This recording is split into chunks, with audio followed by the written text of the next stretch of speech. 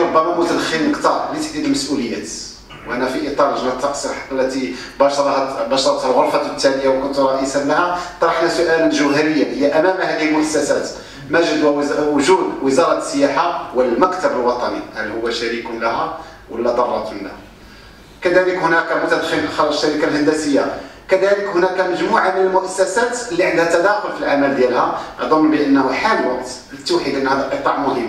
استراتيجي مستقبل ديال المغرب هي السن هي السن هي السياحة هي الصناعة التقليدية. كنظن بأن خصنا نخدموا بشكل متوازي.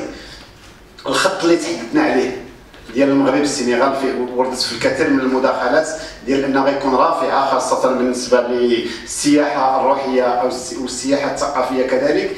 كاين مجهودات كبرى بذلت في هذا المجال ولكن كاين هناك إشكال يعني مع الخطوط الجوية السنغالية هي في وضعية ديال وضعية غير سليمة ولكنها تحتاج نظرا لكون كاين الخط ديال الدار البيضاء دكار هي تطالب بخط فاس لحد الساعة ما استطاعتش باش تغطيه ولكن كاين آه عن طريق شركات أخرى اللي هي ماشي الخطوط الملكية الجوية ولكن كاين شركات أخرى الآن تناقش هذا الخط. نفس الأمر بالنسبة للداخلة يعني الجهه مشكورة دخلت في إطار الدعم وفي إطار الاختصاصات المكلفه على مستوى مجموعة من الخطوط الجوية. نتمنى أن يخرج الخط اللي هو خط مهم جدا هو فاس الداخلة. السيد الرئيس الحداد أصل المؤتمرات بالفعل يعني إحنا في الدورة سبقنا سبقنا عليه هنا. ومجموعة من المؤسسات الكبرى كأصل المؤتمرات المسرح الفنون الجميلة إلى غير ذلك.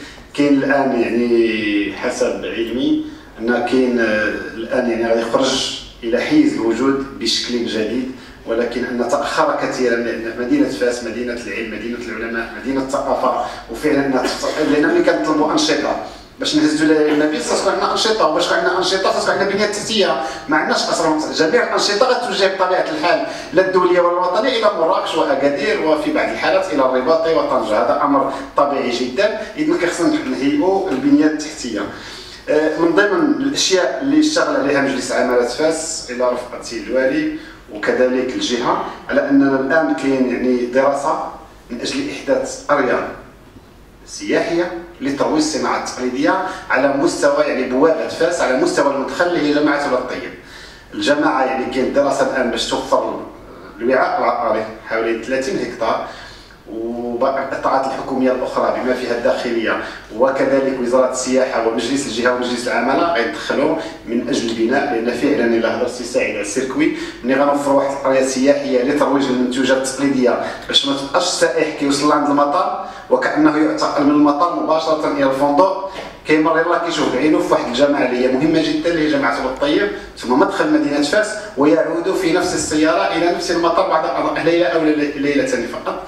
لماذا؟ أن في إطار الوضوح والشفافيه لترويج هذه الصناعه التقليدية باش ما تكونش مسارات. يمكن له يزوروا ديما ولكن أن نوفر هذه المنتوجات التقليدية ببوابة المطار. يعني توجد قريه سياحيه فبطبيعة الحال كاين الان التفكير وكاين دراسه في التوجه ما بين هاد الشركاء لإنجاز هذه القريه السياحية.